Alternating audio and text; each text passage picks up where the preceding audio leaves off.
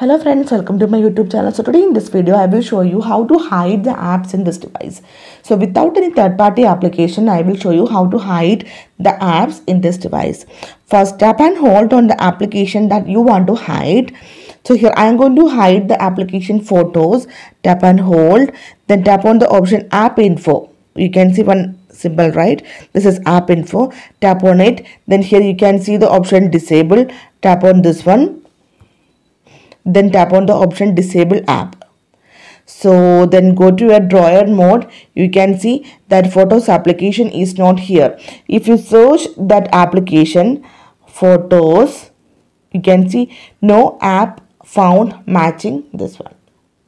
So simply in this way, without any third-party application, you can hide the apps in this device.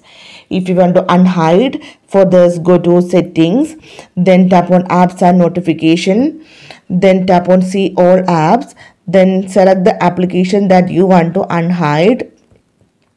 So here I am going to select photos, tap on this one, then simply tap on enable. That's it. Then go to your drawer mode now here you can see that application you can see here so simply in this way you can hide the apps in this device without any third party application thank you for watching thank you bye bye